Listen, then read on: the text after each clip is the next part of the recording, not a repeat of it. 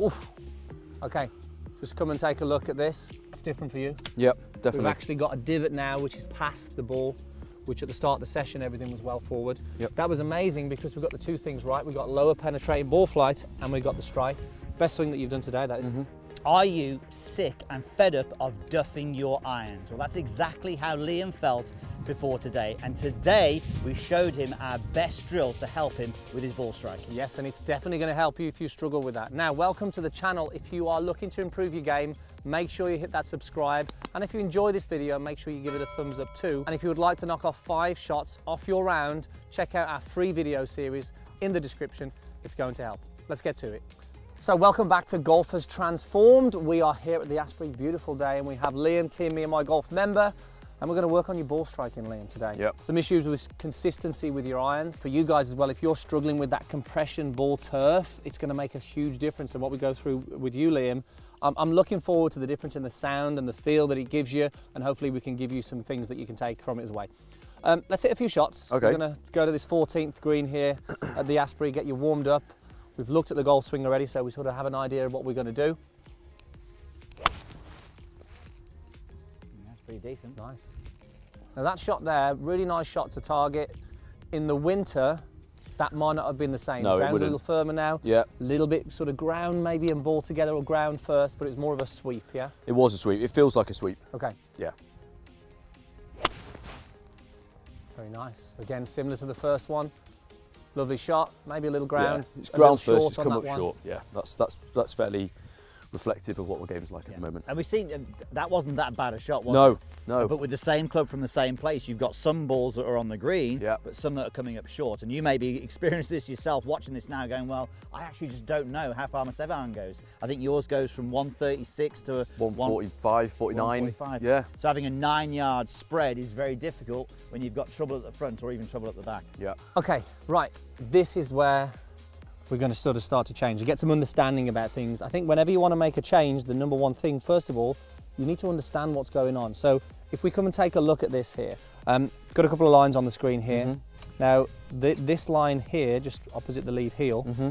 is what we'd like to see is by the time you're at impact, we would like to see that you are fully against that line. And you mentioned that you might feel that you're hanging back. Yeah. So we can see here, club bottoms out early. We haven't closed the gap between your left shoulder and left hip, left knee and the line. Mm-hmm. Therefore, we can't strike really ball then turf. So the goal of today, in order for you to get ball followed by the turf, is to get you fully against that line. And that's a great line for you guys to draw at home if you've got an analysis app where you can actually draw the line from the lead heel and you want to see that by the time you're at impact, you are fully against that line. That's going to enable you to get ball followed by the turf. So that's Okay. our goal for today. Perfect. But there's one thing that's stopping us from doing it. Okay, so it's not just about fixing that, it's about fixing something else first. I'm just going to show you something here as well. You mentioned that you get a lot of height. Yeah. Yeah. Too much height. So when we take a look at the, um, we're going to take a look at what the club face does through the golf ball here. Through impact, I want you to notice the club face. Okay, we're going to keep an eye on the club face, and then we're going to notice what the lead arm does through the ball here Chicken wing. chicken wing, Mm-hmm. yeah. So what we've got through the through impact, and I'm going to sort of swap places here. If you just come and stand around the front here, if you come around the front as well, you'll see a better a better view of this. Is that on the way through, the club face doesn't really close that much, Okay. and we get this little bit of a, a sort of chicken wing effect. Now the problem is here, it often then produces too much loft. Mm-hmm. It also will force you to almost stay back. Mhm. If we get your club face working a little bit more like this, it enables us to deloft the club a little bit, but also it gives us then a reason to to move forward. Okay. If we're leaving the club face open and sort of having this scooping effect, it tends to want to force us to hang back really. Mhm. So the number one thing we're going to do first is get the club face to close, doing more of this motion. That's going to give us the green light to then start to work this way. Okay. Now most people start would want to work at this 1st Mm-hmm. but we need to get the club doing a good job first. Okay. Make sense? Yeah. makes okay, sense. so if you just jump on the on, in place for us there. So this is important. I want you to just take hold of the club with your right hand, take your left hand off for me. Take that hand away. Perfect. So just get your left hand just out for me like this. You can relax that one on the ground. Perfect. This is the important thing, just soft in your posture.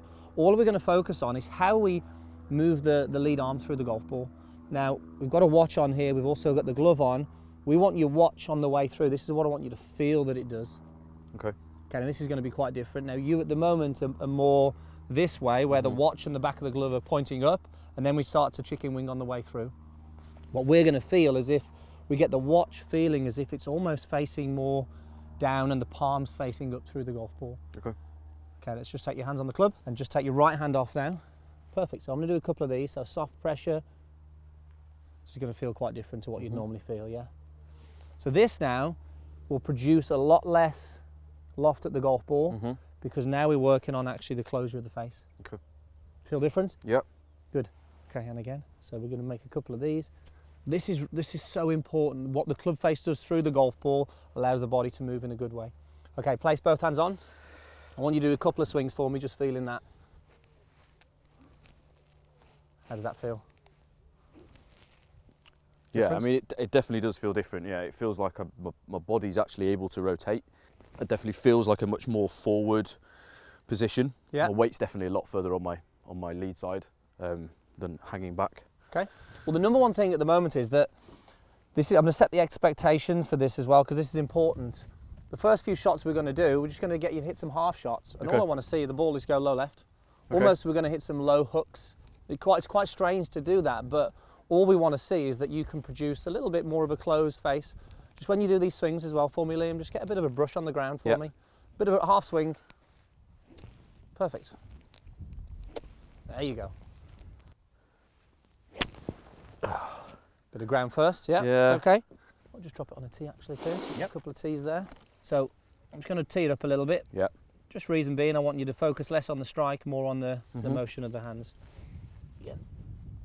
Sometimes, guys, this is a great thing to do. If you're just working on a motion, or just bringing the, the ball up a little bit just to focus on the, the, uh, the motion rather than worry so much about the contact. And the, the beauty of this is, the beauty of this is, what we're going to do here is that I don't want to move to the downswing until this is actually better. Because there's no way we can, we need to make a change here before we make the other change. There we go. Beautiful. There That's we go. better. I want to see this low left. Definitely trying to. Yeah. You'll start to get a different feel. When you really nail it, Yeah. you're going to feel a difference. And I'm waiting for that difference before we move on. Sure. Beautiful. Now, that, that's, that's exactly what I wanted to see. Sorry. Nearly out of bounds. Oh no, it's all good. That's nearly out of bounds, but that's exactly what I want to see. So if you look on screen here now, you'll see downswing. We're going to look at what the hands are doing. You see how the right the right arm passes over the left now. We've Mhm. got this sort of release. The glove hand is underneath the right hand. Yeah. So it means that we can continue to move this. There you go. but now we're going to start to get you moving towards the target in a better way. Okay. So now we're going to combine the two. Okay, so all I'm going to do now then, if you take your setup for us there, Liam, I'm going to place this just outside your lead heel. Mm-hmm. Perfect. So all we want you to do now, actually, if, you, if we swap places a second, if you Yep. just jump back in front of me here, this is the important thing now. So I've placed that outside your lead heel. If you just stand there for us, Liam. Pl- Place that outside your lead heel. Now you'd swing to the top of the backswing, and normally you would start, but you wouldn't move towards that. So you're hanging back ground 1st What Mhm. we want to be able to do now is from the top of the swing, we want to be able to move towards this before we strike the golf ball. So when we get to the whole left side onto this before that golf ball. Okay. If we can do that, that's what's going to enable us to get the ball followed by the turf. So this is a bit of feedback. Mm-hmm. Let's have a couple of swings where we just uh, Feel it. see if we can move towards that. So same feeling with the hands, but now we want you to move in towards that on the way down. Good. All the way through for me. Good. Crucial that we still get that hand, those hands feeling Roll the same thing here, yeah? yeah. Okay, perfect. So It's interesting. I don't know whether you noticed that when you actually hit the ground. Then you missed the tee peg, so oh, you I went didn't. over the over the tee Okay. and actually hit the ground there. Right. You've never done a shot like that before, No. so it's like it's just now a question of just blending these two together. Okay. Okay. Now just just notice on that the height. More penetrating, yeah. Yeah. More balanced at the end. Absolutely. Good. Okay, really nice shot. Just out of interest for you guys as well, look, this is all about irons and ball striking. What are the issues that you have with your irons at the moment? What's the fault that you're trying to fix? Is it hanging back? Is it over the top? Let us know down in, down in the comments below. Now we're going to change it a little more and got some spray here. Now we're going back off the ground because we want to make, we want to sort of progress it on a little bit. And all I'm going to do now is spray a line. Okay, so really useful to do this. So line on the ground, this is just some strike spray you can get.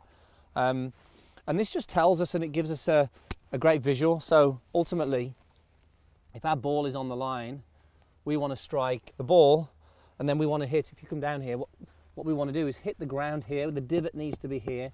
Now we know for you Liam that your striking the ground was all here today, Yep. but we know why that was, because the weight wasn't getting onto the lead side. Yep. So now all the focus is going to be, if I swap places with you, all the focus is in the practice swings now is that we, we've got two things. We've got, I want to make sure that the, the club face is releasing or closing, Mhm. but the practice swings are going, how can I strike past the line? The only way you're going to strike past that line is by shifting that weight to that lead leg. If we hang back, like you were doing earlier, you can see how easy it is to hit that ground first. Do you want to hit one, Andy? Just, just, just chip one out there. Just chip one out yeah, there. chip one out there with, with a good one. I've just got you on slow mo. So I'll just do. Oh, you got a slow mo. Yeah, I'll just on, hit one here. We'll need to make sure where I'm aiming in the right way here. Yeah, you're a little bit right. You didn't draw your line very well.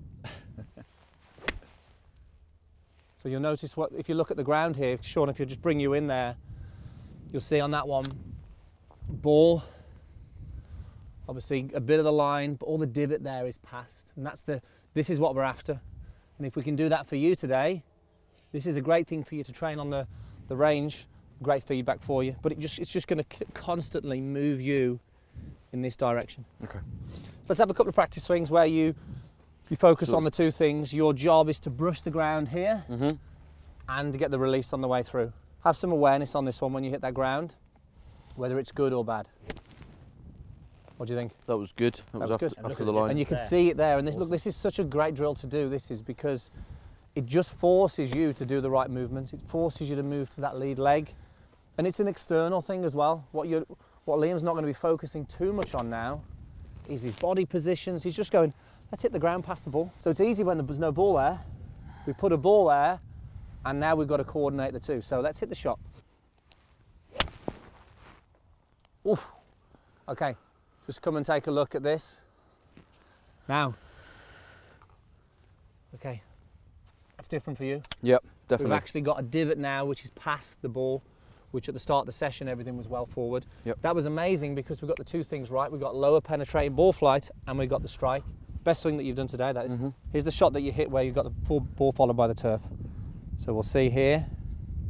Backswing really nice to see on screen here, guys. Now there's more of a shift, and we'll see here the difference here. Now we've got a move towards the target.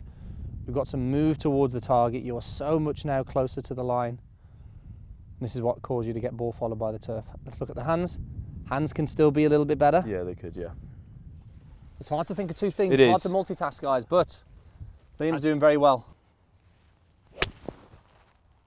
Oof. Could be, could be in as well. This could be. What do we think of the height? Yeah, much better actually. Have a look at the ground. Yeah, perfect. So we can see again here, ball, a little bit of the white line gone, and we can see that the majority of the turf there is, so your bottom of the swing has moved from here to now moving past the golf ball. So we hope that was useful, guys. Remember to check out our five shots lower video series if you want to knock five shots off your game. It will help. We cover everything in there. The link is in the description, and we'll see you soon.